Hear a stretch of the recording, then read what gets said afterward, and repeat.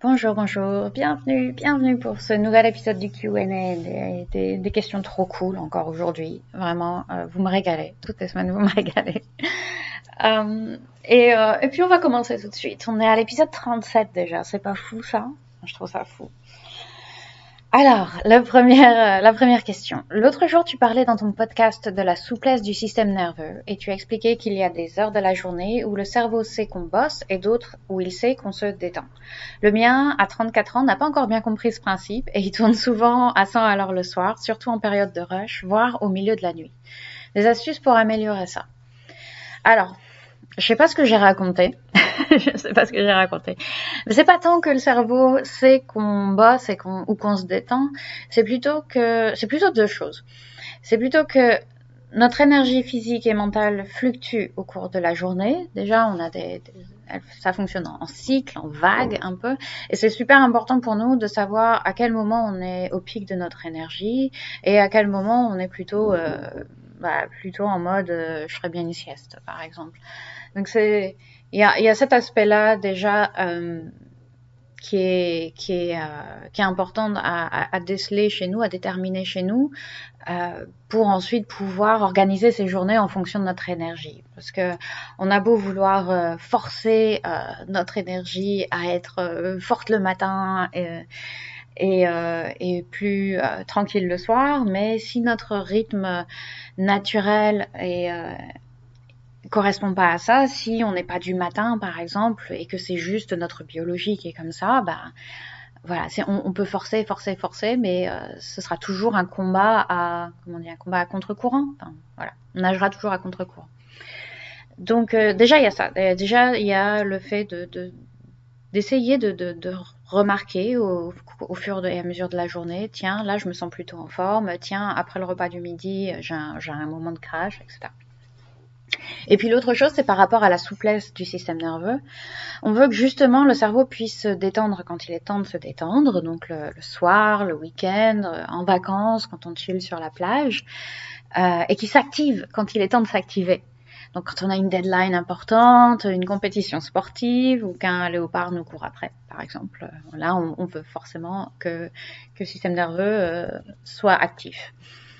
Et euh, ça me permet de souligner que le stress, c'est pas mauvais en soi. En fait, le, stress, c'est quelque chose qui, est très très connoté négativement maintenant, mais euh, le stress est super utile en fait dans, des moments où justement on doit être on doit être actif, on doit être alerte, on doit on doit agir, on doit être dans l'action.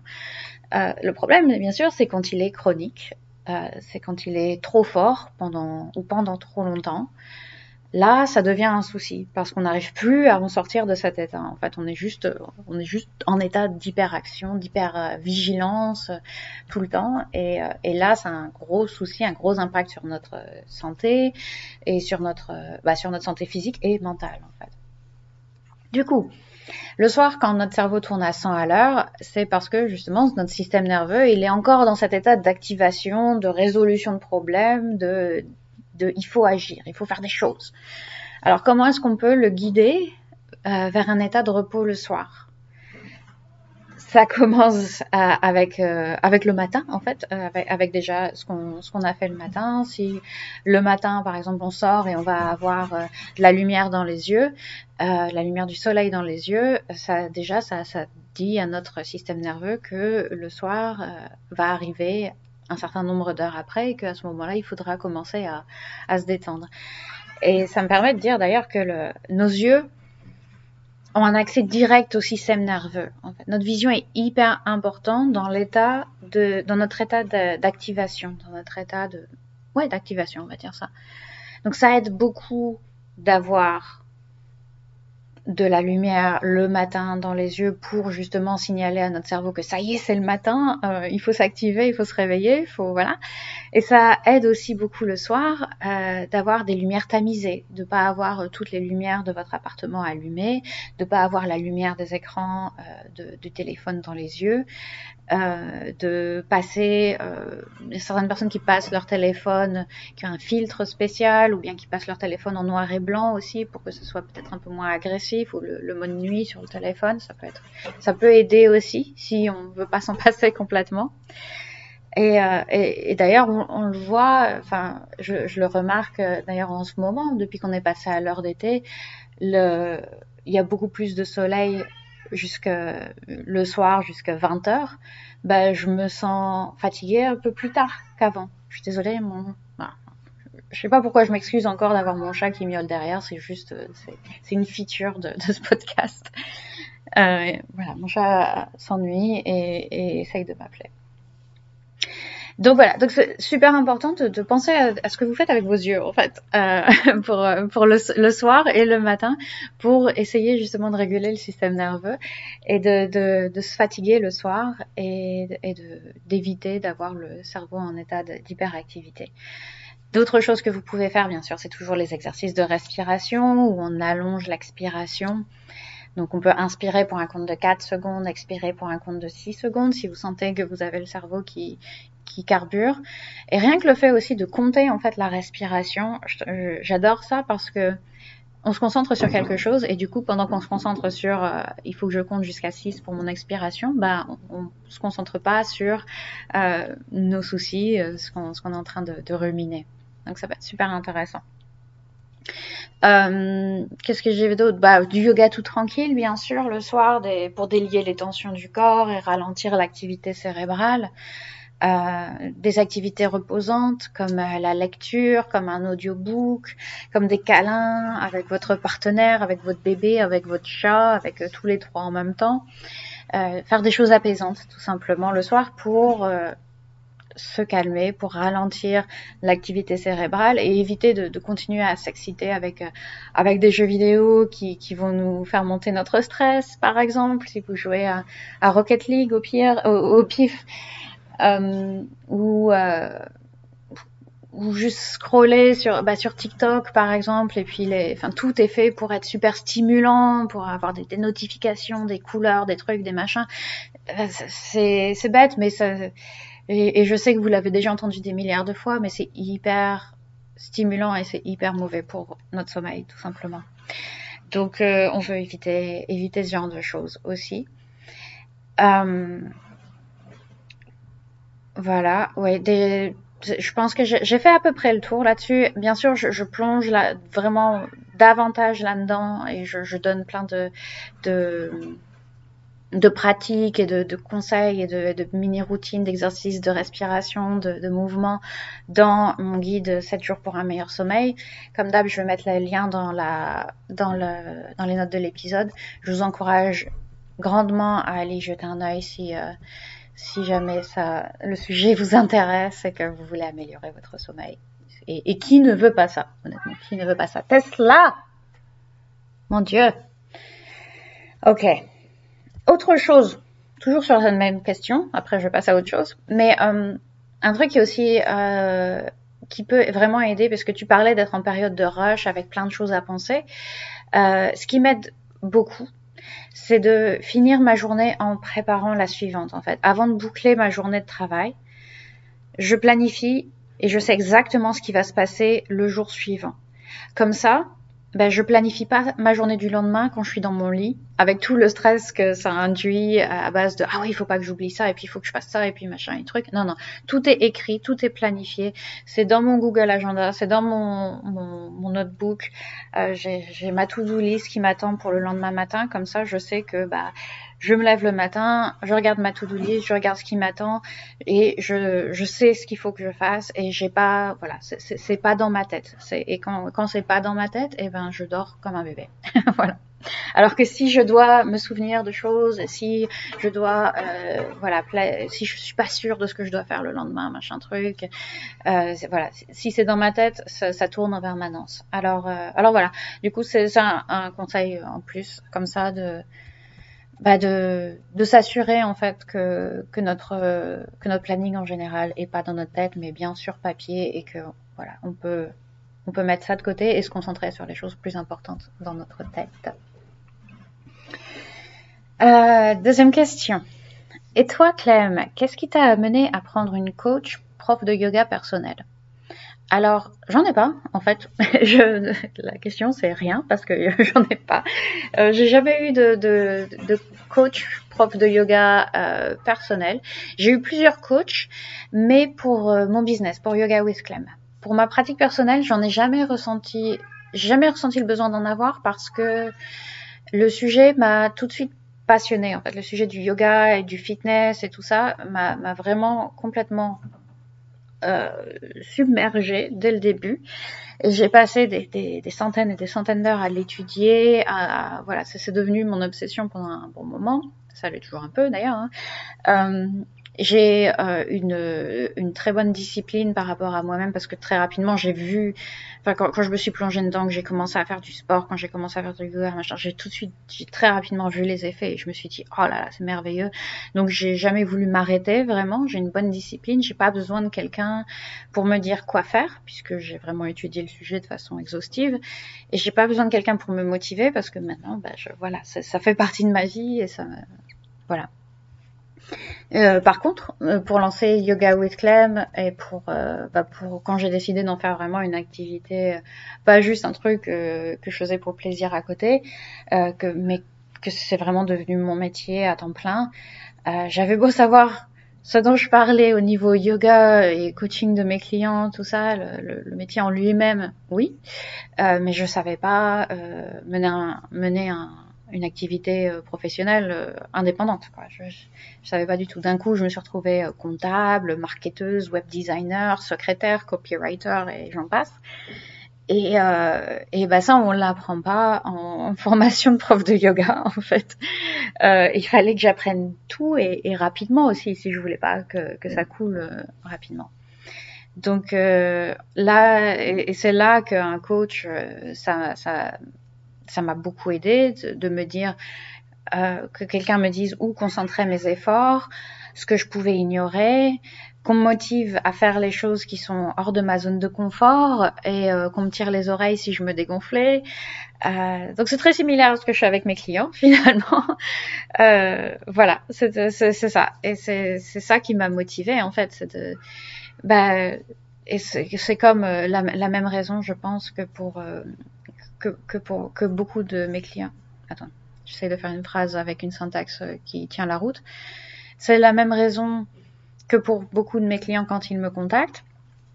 C'est-à-dire que ils savent qu'ils doivent faire quelque chose, mais ils savent pas quoi faire exactement, et euh, ils ont aussi besoin de quelqu'un qui, bah, qui non seulement leur montre ce qu'il y a à faire, mais euh, qui aussi les, les, guide un peu au quotidien et qui les pousse à, à, à challenger, et notamment quand, bah, quand la motivation n'est pas forcément là, euh, qu'on continue à que, que, que le que les choses continuent à se faire en fait, et pour en récolter les, les bienfaits les bénéfices. Donc, euh, donc voilà, c'est ça. Mais pour ma pratique du yoga, euh, ouais, je suis des programmes. Euh, bah pour ma pratique, pardon, de la musculation, je suis des programmes, mais pas un programme personnel, juste un programme général, générique. Et pour le yoga, je fais en fonction de comment je me sens en fait. donc voilà, ça, je fais, voilà, ça, ça, change. Ça, ça, évolue beaucoup, mais j'ai jamais vraiment besoin qu'on me motive ou qu'on, et j'ai pas du tout de soucis euh, particuliers non plus. Euh, je suis pas dans une situation où j'ai un problème à l'épaule ou quoi, donc euh, pas besoin d'un soutien particulier. Euh, ok, question suivante. Le yoga se marie bien avec les étirements et les exercices de mobilité. Du coup, est-ce que ces exercices de mobilité ne visent que l'allongement des muscles ou est-ce qu'ils augmentent également la mobilité ou jointures, les genoux, etc. Si oui, comment? Alors c'est une très bonne question, très très bonne question. Et euh, oui, alors oui, le yoga, euh, les exercices de mobilité augmentent la mobilité des articulations, donc des jointures parce que la mobilité des articulations dépend de la souplesse des muscles et de la tension nerveuse aussi, mais ça on le met de côté pour le moment. Mais euh, les articulations, en fait, on peut voir ça comme euh, comme un gond de porte, par exemple. je vais essayer de faire. J'espère ne pas regretter cette, cette analogie et de ne pas m'embourber là-dedans. Mais euh, si tu penses à une, une porte avec les, les gonds, tout ça, s'il n'y a pas d'obstacle et que les gonds sont bien huilés, euh, la porte peut s'ouvrir au maximum, potentiellement à 180 degrés. Le muscle, c'est comme euh, sur certaines portes incendies, il y a un truc accroché en haut de la porte qui l'empêche de s'ouvrir tout à fait et qui la fait se refermer automatiquement. Ouais. Euh, c'est un peu, un peu comme ça. Euh, donc, imagine qu'un un muscle qui manque de souplesse empêche l'articulation d'atteindre son plein potentiel d'amplitude, en fait, puisque il est attaché, le, le, muscle va être attaché, si je simplifie, un muscle, il va être attaché à, entre, entre deux articulations. non, de part et d'autre d'une articulation, par exemple. Donc, euh, si, euh, par exemple, je veux dire une bêtise, mais si par exemple le muscle de ta cuisse qui s'attache euh, qui s'attache en dessous du genou, en dessous de l'articulation du genou. S'il est trop tendu, bah ton genou va pas réussir, tu vas pas réussir à étirer, à étendre ta jambe et, à, ouvrir ton articulation du genou au maximum parce que ce muscle est trop tendu et donc il y a pas, t'as pas l'amplitude de mouvement. J'ai pas dit de bêtises du coup parce que c'est vraiment ce qui se passe. Euh... donc voilà, je sais pas, je sais que mon micro euh, filtre très bien les, les bruits. Euh les, bruits environnants, mais mon, mon chat est en très grande forme. Euh, du coup, voilà, du coup, on a le, muscle qui empêche notre porte, euh, notre, notre articulation de s'ouvrir. Et c'est très très mécanique en fait, parce que l'articulation, les jointures, c'est vraiment juste, euh, c'est vraiment juste une jointure en fait. Les os en dur sont reliés entre eux par des articulations, et ce qui détermine notre souplesse, ce sont les structures plus plus molles, plus les tissus comme les, muscles, le fascia, donc les, tissus connecteurs en fait. Mais l'articulation en elle-même, euh, si elle avait rien autour d'elle, elle s'ouvrirait euh, pleinement. Euh, voilà, il y aurait, rien qui la limite potentiellement. et comme je disais, il y a une autre couche par-dessus qui est la tension nerveuse, qui peut aussi limiter la mobilité. et un truc intéressant, moi ça m'intéresse en tout cas, par exemple, quand on dissèque un cadavre, le cadavre gagne en le, cadavre est plus souple que la personne humaine vivante parce que justement il n'y a plus de tension nerveuse dans le corps en fait. Parce que voilà la vie est partie et donc il n'y a plus de tension nerveuse dans le corps. Le, et euh, le, cadavre est plus souple euh, là où les muscles bah, ils sont toujours aussi tendus que quand elle était la personne était encore vivante. Donc c'est pour ça qu'on travaille aussi la tension nerveuse quand on quand on travaille en mobilité quand on travaille en mobilité tous les deux avec, euh, avec cette personne qui a posé la question. Donc voilà, on travaille la souplesse des muscles, la souplesse au niveau de la tension nerveuse et ça nous permet de gagner en mobilité dans les articulations et ailleurs. Euh, alors, question suivante. Ok, alors, euh, comment résister au stress des autres quand on a trop d'empathie? Grande, grande question, très très bonne question, très très grande question. Alors, ces derniers temps, j'entends beaucoup parler de, managers, je l'ai vécu d'ailleurs moi-même il y a quelques années, de managers qui, euh, qui ont du mal à gérer leur stress et euh, qu'ils transmettent du coup à leur équipe.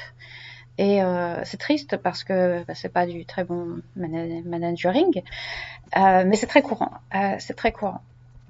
Après, ça peut, que ce soit dans le contexte pro ou dans le contexte personnel, ça peut être hyper euh, compliqué. Je vais certainement pas prétendre que c'est facile dans tous les cas, parce que euh, forcément on peut se prendre des reproches, euh, notre performance peut en être affectée, et puis, et puis voilà, c'est pas facile de, de d'être avec quelqu'un qui est, qui est stressé et qui, qui nous renvoie son stress alors que bah, on n'y pour rien quoi. Et je pense que c'est un moment du coup intéressant pour faire la distinction, comme tu parlais d'empathie, pour faire la distinction entre sympathie, empathie et compassion. C'est trois choses différentes alors que souvent on, les utilise de façon un peu euh, interchangeable, euh, alors que c'est différent. Voilà.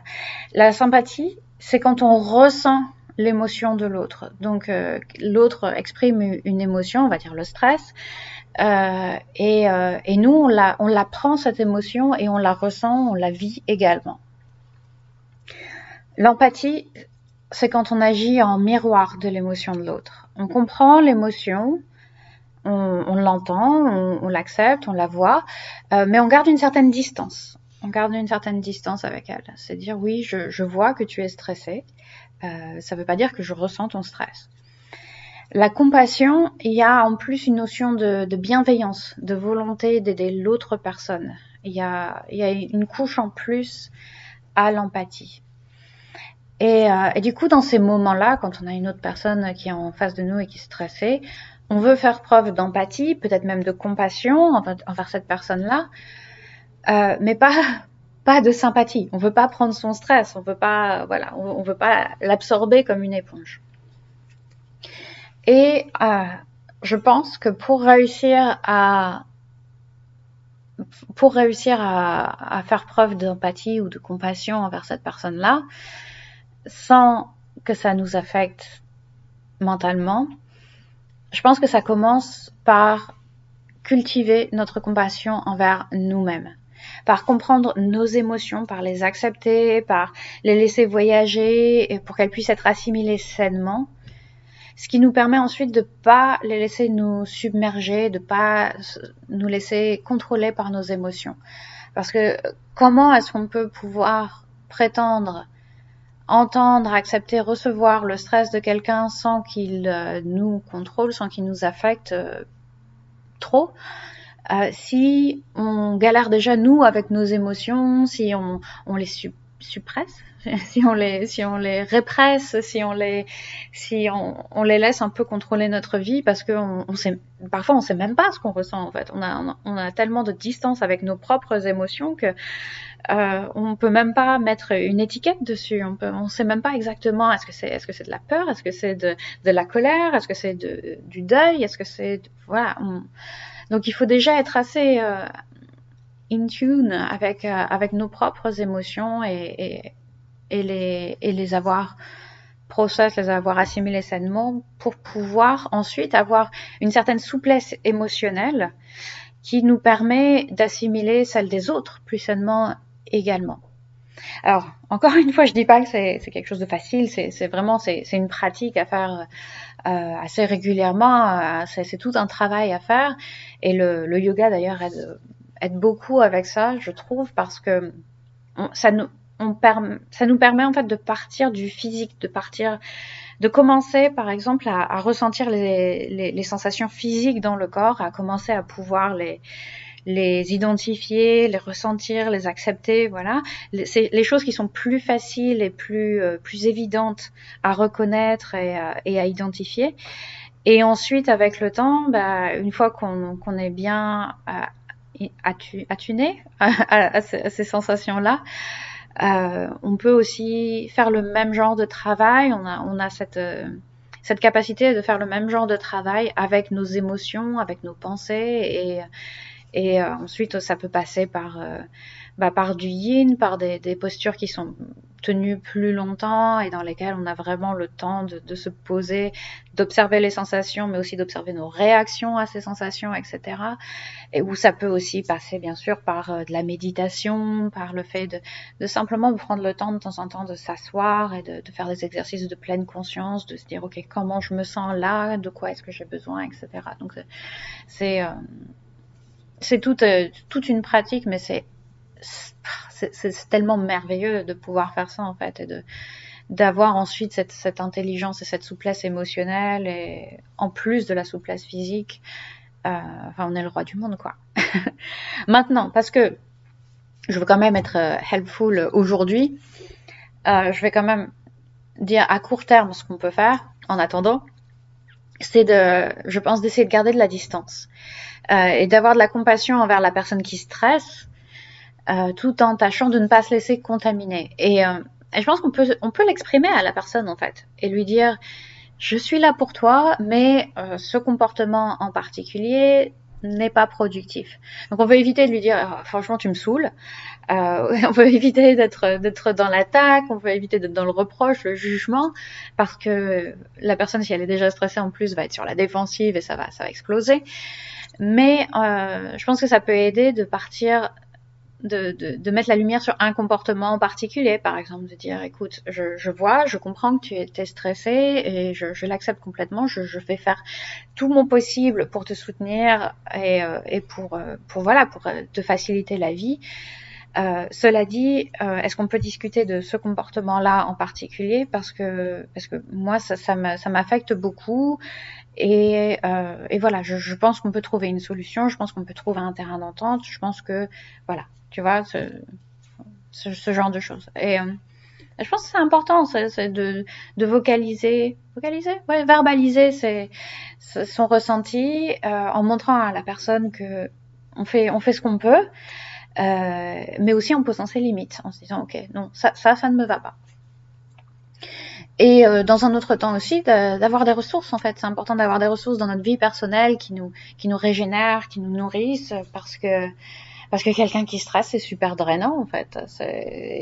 si on l'a euh, chez soi ou euh, au travail, si on est amené à, à, interagir avec cette personne très souvent, bah, ça, ça, peut être vraiment des, des trous noirs d'énergie et, de, de, de, positivité et de, de, ce genre de choses. Donc, euh, donc il faut s'assurer d'avoir, bah, ça peut être sa pratique de yoga ou ça peut être euh, des autres activités à côté qui, qui nous régénèrent. Voilà. Euh, J'espère que ça aura été utile. Tout ça, c'était vraiment des super questions encore aujourd'hui. Merci beaucoup pour ça. Euh, j'espère que, ouais, j'espère que ça a résonné euh, avec beaucoup d'entre vous. Euh, N'hésitez pas à m'en poser d'autres, à m'envoyer vos messages et à jeter un œil aux notes de l'émission pour tous les liens. Bonne journée à vous. À très bientôt. Merci.